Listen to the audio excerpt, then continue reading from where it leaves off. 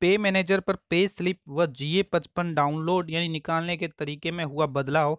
अब इस प्रकार निकालें अपनी पे स्लिप व जीए पचपन विथ ओटीपी जी हाँ दोस्तों, पे मैनेजर में थोड़ा बदलाव किया जा रहा है कि अब आप अपनी पे स्लिप और जीए पचपन ओटीपी के साथ ही निकाल पाएँगे, अन्यथा नहीं निकाल पाएँगे। अगर आपके पे मैनेजर पे अपने मोबाइल नंबर ऐड किए हुए हैं तो आपके मोबाइल पर एक ओटीपी मैसेज आएगा। उस मैसेज के थ्रू ही आप अपनी पे स्लिप और जीए पचपन निकाल सकते हैं। ये बदलाव अभी कुछ ही दिनों में हुआ है। साथ ही एक और बदलाव आया था कि अगर आपकी मंथली जो सैलरी बनेगी वो भी संस्था प्रधान के मोबाइल पर ओटीपी आने पर ही बनेगी। ये दोस्तों, बदलाव मैंने आपको पहले ही बता दिया था। अब आज हम बात कर रहे हैं जी ए पचपन और पे स्लिप का जो नया तरीका है निकालने का, वो किस प्रकार निकालेंगे? नमस्कार साथियों, मेरा नाम है मोतीलाल कनौजिया और आप देख रहे हैं रॉयल टीचर दोस्तों, शुरू करते हैं आज का हमारा वीडियो और बताते हैं आपको जी ए पचपन और पे स्लिप आप किस प्रकार निकालेंगे। ये जो वीडियो है दोस्तों आप सभी की मांग पर ही है। काफ़ी दिनों से मांग चल रही थी कि सही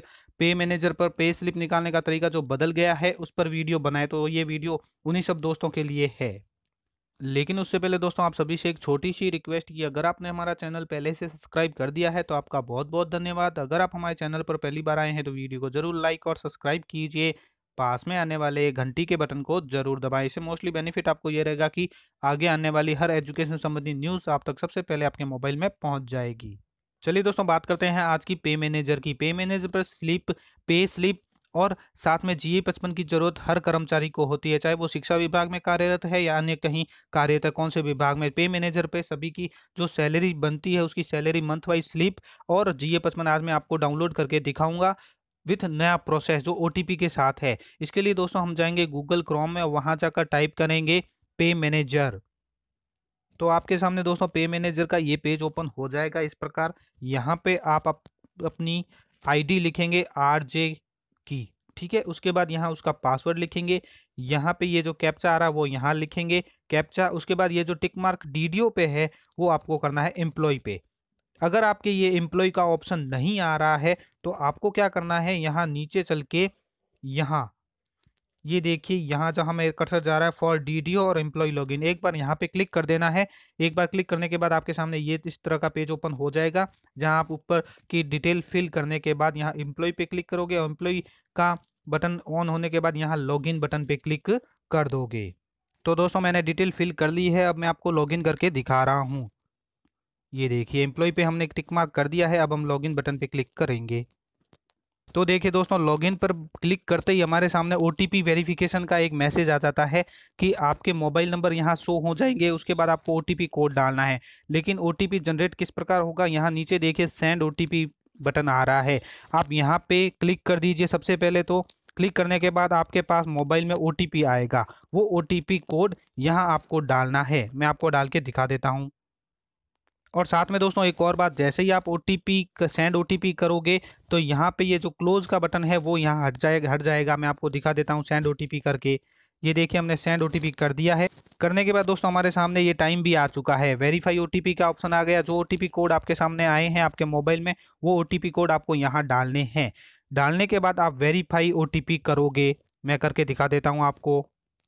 उसके बाद दोस्तों, हो सकता है आपके पास ये चेंज पासवर्ड के लिए एक पेज खुल जाए तो घबराना नहीं है यहाँ पे आपको और हो सकता है न भी खुले, क्योंकि काफ़ी दिन के बाद जब हम पे मैनेजर खोलते हैं तो एक बार पासवर्ड रीसेट के लिए हमसे मांगा जाता है। तो यहाँ पे आपको क्या करना है, ये जो न्यू पासवर्ड लिखा आ रहा है तो वहाँ पे आपको अपना पासवर्ड डाल देना है। कन्फर्म पास में पासवर्ड में वही पासवर्ड जो ऊपर आपने लगाया है यहाँ पे न्यू में, वो का वो सेम यहाँ डाल दीजिए। उसके बाद ये जो कैप्चा नज़र आ रहा है, वो यहाँ डालकर उसको सबमिट कर दीजिए। अगर ये पेज आपके नहीं खुलता है और डायरेक्ट ही पे मैनेजर खुल जाता है तो भी कोई बात नहीं, अगर ये खुलता है तो इस प्रोसेस आपसे आप कर लीजिए। पासवर्ड डालने के समय दोस्तों, एक पॉलिसी ध्यान में रखिए। यहाँ पे देखिए पासवर्ड पॉलिसी है तो सबसे पहले password must start with capital letter, यानी आपको बड़ी एबीसीडी का पहला अक्षर आपको लेना है। सबसे पहला पासवर्ड का जो अक्षर होगा, आपका बड़ी एबीसीडी में होना चाहिए। Password must have alternate one small letter password जो आप क्रिएट कर रहे हो उसमें एक, एक अक्षर बड़ी ए बी सी डी का एक छोटी ए बी सी डी का होना चाहिए। साथ में password must have at least one digit zero से लगा के नौ तक संख्या में भी कोई संख्या होनी चाहिए। Password must have alternative one special character special character बोलते हैं star has at the rate इनको। अगर आपका नाम मैं आपको एक सजेशन के रूप में बता रहा हूँ किस प्रकार करना है। जैसे आपका नाम है रवि ठीक है? तो आप अपना ये आर बड़ा ले सकते हैं आर बड़ा कैपिटल में। फिर ये आर छोटा आ जाएगा। उसके बाद आपको वन डिजिट भी लेना है तो साथ में ज़ीरो से नौ तक कोई भी अंक ले लिया, जैसे आठ ले लिया है, उसके बाद स्पेशल चैरेक्टर लेना है तो आप कोई भी स्पेशल चैरेक्टर ले सकते हैं, जैसे एट दी रेट फिर आप अपने पीछे नंबर भी डाल सकते हैं, जैसे आपके मोबाइल नंबर है डबल सेवन तो डबल सेवन डाल दीजिए।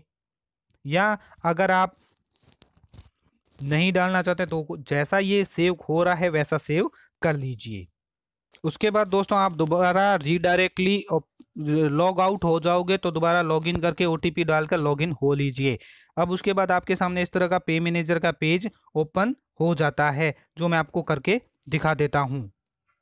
तो ये देखिए हमारा पे मैनेजर खुल चुका है। अब हमें हमें यहाँ से पे स्लिप डाउनलोड करनी है और जी ए पचपन डाउनलोड करना है। तो यहाँ पे क्या करेंगे? हम एम्प्लॉय कॉर्नर पे जाएँगे। ठीक है? अगर आप मोबाइल से कर रहे हैं तो इस एम्प्लॉय कॉर्नर को हल्के से दबाकर रखिए। ये सारे ऑप्शन आपके सामने शो हो जाएँगे। अगर आप मोबाइल से नहीं कंप्यूटर से कर रहे हैं तो जैसे ही कर्सर ले जाएँगे तो आपके सामने ऑन हो जाएगा। अब आपको जी ए पचपन निकालना है तो क्या करेंगे कि एम्प्लॉय कॉर्नर पर नीचे देखिए एम्प्लॉय रिपोर्ट ठीक है? एम्प्लॉय रिपोर्ट के सामने आ रहा है pay slip and ji A पचपन। तो यहाँ से आप पे स्लिप और जी ए पचपन डाउनलोड कर सकते हैं। वो भी किस प्रकार करना है? तो पहले आप चलते हैं पे स्लिप के ऊपर। पे स्लिप के क्लिक करेंगे। तो हमारे से यहाँ पे देख लीजिए मंथ पूछा जाएगा ईयर पूछा जाएगा फाइनेंशियल ईयर पूछा जाएगा, उसके बाद सबमिट बटन आ रहा है, यहाँ पे क्लिक करके हम अपनी पे स्लिप निकाल सकते हैं। अब बात करते हैं जी ए पचपन की तो उसके लिए भी हम जाएँगे एम्प्लॉय कॉर्नर में। एम्प्लॉय कॉर्नर में जाकर एम्प्लॉय रिपोर्ट में एम्प्लॉय रिपोर्ट में जाकर यहाँ पे देखिए जी ए पचपन एम्प्लॉय डिटेल खोलेंगे, खोलने के बाद यहाँ से हमें आ रहा है सेलेक्ट ईयर तो हम यहाँ पे ईयर सेलेक्ट कर लेंगे। कौन से ईयर का हमें चाहिए? जैसे 19-20 का चाहिए तो 19-20 सेलेक्ट कर लेते हैं। उसके बाद एम्प्लॉय नेम आ रहा है। आपको किस प्रकार चाहिए? एस्टिमेटेड चाहिए या नॉन एस्टिमेट चाहिए? जो भी है वो आप टिक मार्क कीजिए और नीचे पीडीएफ फॉर्मेट में आप इसको ले सकते हैं। तो दोस्तों, ये है बदलाव का तरीका जिसे हम जी ए पचपन और पे स्लिप निकाल सकते हैं। इसके साथ ही अगर आपको एलपीसी चाहिए, यानी लास्ट पे सर्टिफिकेट चाहिए तो भी आप यहाँ से देखिए लास्ट पे सर्टिफिकेट उसके साथ personal detail pay slip pay slip month wise G A पचपन, ये सारी डिटेल आपको मिलेगी एम्प्लॉय कॉर्नर में, यानी एम्प्लॉय डिटेल में। साथ ही आपको मेडिकल टीए बिल चाहिए तो यहाँ से आप मेडिकल और टीए बिल बना सकते हैं। बिल फॉरवर्ड का ऑप्शन भी यहीं पे आएगा। एम्प्लॉय डिटेल है तो आपकी पूरी डिटेल यहाँ से आपको मिल जाएगी। ठीक है साथियों? इस प्रकार दोस्तों अगर मैंने जो तरीका आपको बताया है, उस तरीके को अगर आप फॉलो करते हैं तो आप अपनी पे स्लिप जीए पचपन मंथ वाइज है और पचपन जो सालाना है और पे स्लिप मंथ वाइज है, वो आसानी से डाउनलोड कर पाएँगे। धन्यवाद साथियों, वीडियो को ज़रूर लाइक शेयर और सब्सक्राइब कीजिए। पास में आने वाले घंटी के बटन को ज़रूर दबाएँ।